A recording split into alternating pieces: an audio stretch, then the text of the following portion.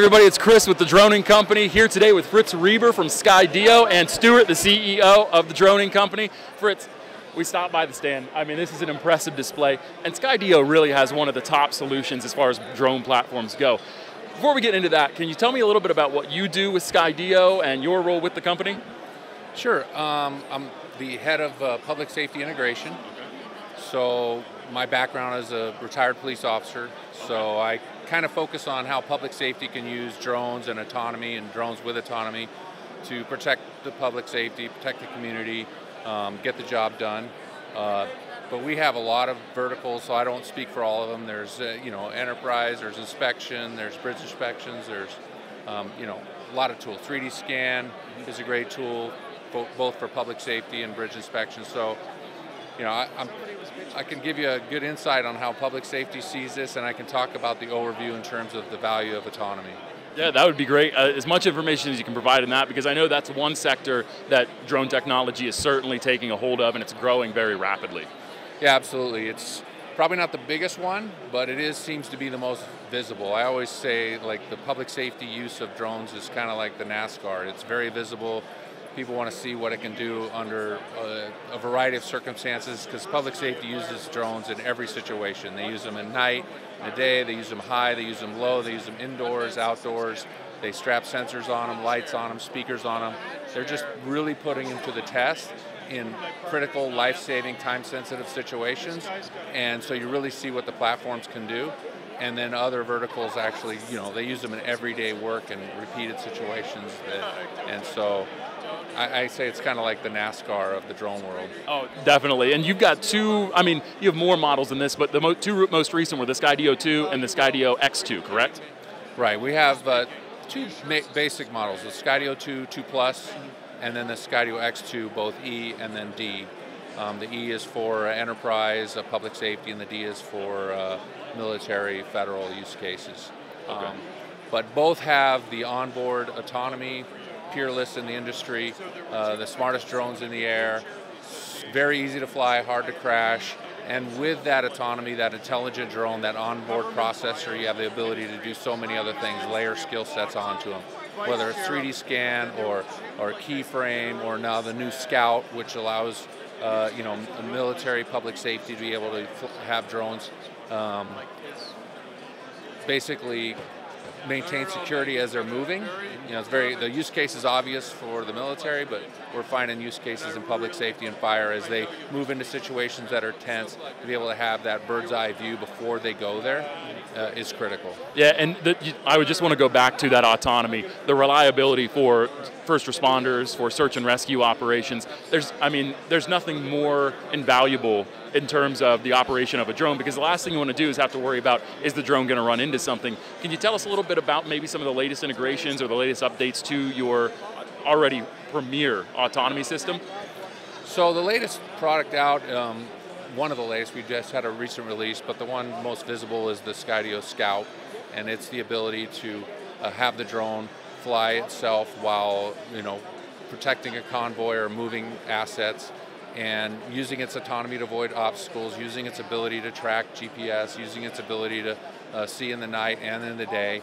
Um, you know, it's just it's another use case that takes advantage of the autonomy, and it's a skill set that frees up people who, you know, typically aren't expert drone pilots. They're expert soldiers, they're expert police officers, they're expert firefighters. They just don't have the time, the training budget, the training time to be able to, to be an expert. And so having a drone that does a lot of the work for them um, flies safely and performs a unique skill set, something that no other drone does, is huge. Sure. Absolutely. Now I got one last question for you, and then we're going to talk a little bit about how people can find out more about your platform. Okay. If somebody were looking to get into flying drones professionally, you know, what would your, be your first piece of advice for them? Uh, well, just read and study everything you do. Go out and buy a drone, fly it, right? Um, start talking to people. Um, uh, it's it's a it's a new industry, but you know it's it's kind of an old one too. There's a lot of people here that know a lot, so you can learn a lot by reaching out. Um, watch what other people are doing. See what type of drone flying you want to do. There's you know taking pictures. There's uh, public safety. There's uh, you know uh, inspections. Uh, there's all kinds of use cases for drones. Um, countless. So find a passion, there's no doubt a drone will help with that, whatever that passion is, and see it as a, a tool to get something else done.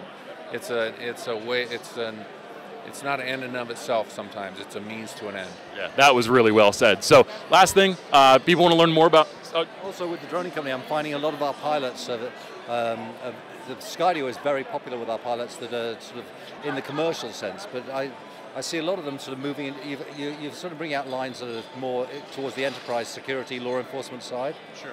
And that's what we're finding that pilots are moving into that. Yeah, because typically it's, you know, you're doing a drone, being a drone pilot when you're paid to do something else, whether it's firefighter, public safety, inspector, a line inspector, an asset uh, security, something like that. And so drones help people do that more efficiently. It's really a it's a it's a tool that makes you scale, makes you way more effective. And so that's typically how people get into it. Drones help them do some other task easier, better. Um, you know, some people fly and enjoy flying just for itself, um, but really the ones that have a long career and are successful are when they find a way for the drone to add value to another task. Yeah, I'm finding a lot of trend with the, the pilots we have signed up because we initially started off as a job agency. And pilots always put the drones up that they have, and everything. And I'm finding that the guys, because these guys are serious, they've taken the time to study for their FAA Part 107, and I'm finding that the guys that that uh, that they, they do, started off doing real estate and roofing inspections are saving their money and buying the enterprise drones and moving into specialized markets, with such as agriculture. And, and it's difficult with law enforcement. I'm a specialist reserve police officer with the LAPD myself. I work right, with ICAC. Right. So okay. um, it's uh, I can fly a drone for the LAPD, but because I'm a, a reserve officer, but there's it's they, they can't generally take on civilians. But I think that's changing in, in certain aspects, especially in search and rescue. Yeah, definitely. Well, uh, back to where you started, the, the, the idea of expressing your skill set in terms of understanding the airspace issues, the FAA issues, um, that's kind of what people want when they're hiring someone from a drone. It's, a, it's kind of a, a scary field and they're not experts in it, so they want someone with that knowledge. But they also want someone in knowledge with the, why they're hiring them, whether it's inspection or public safety. You have to understand what the drone is doing so you can get the right data, you can relay the, relay the right information. And in terms of public safety, um, yeah, it's it, public safety. It's expensive to take a police officer from being a police officer, have them fly a drone, or a firefighter, have them fly a drone. So as much as you can civilianize it, that's great. There's examples of that. Um, but the key here is to be able to make a drone that's easy to fly, quick to deploy, and effective.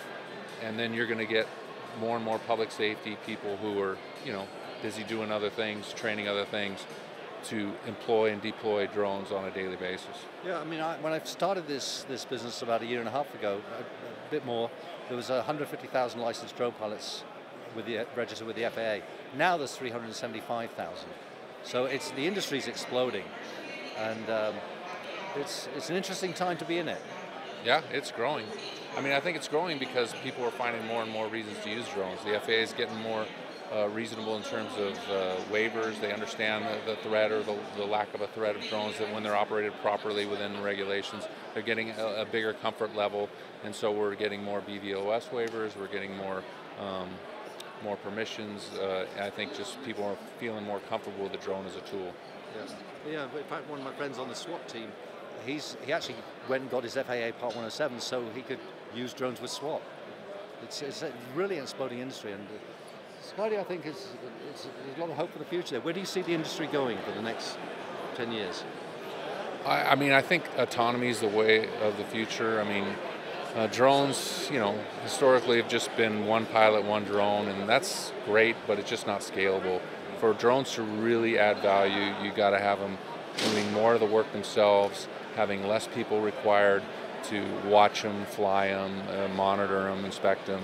Um, the more we can get autonomy, the more we can get permissions to fly beyond visual line of sight, um, the more we get a comfort level with the society and a trust level with society in terms of their, their usefulness and you know the responsibility of operators to do it responsibly. Um, I think it expands. I'm, I'm, my heart's in drone as first responder. That was kind of a, something I started at Chula Vista with some other Skydio team members here. Um, that's you know getting drones out ahead of public safety. I see that as a future. Drones and docks, dock drone systems. I mean, I see that. I know that uh, Skydio sees that as as the future. So autonomy easy to fly drones, dock drones. It's all it's all coming. Chris, thanks for your time. Nice, nice talking to you. Yeah, before we go, where can they uh, find more information about Skydio? Skydio.com. Any uh, social media? Uh, it's all over social media. You can't avoid us on That's true. social That is media. yeah, yeah, we got a great go, go to mar- uh, media team. So yeah, Skydio.com or Google Skydio. It's and check out the videos. They're amazing. Excellent. Hey, thanks so much, Thanks Fritz. lot, really guys. appreciate, Appreciate it. Thank you. All right. The Droning Company is a job agency for drone pilots which also incorporates a high-end magazine about the industry. So people search this when they're looking for a drone pilot. They talk to the pilot directly, but either via email or phone. We're not involved, we don't take commissions. Never will have, never will.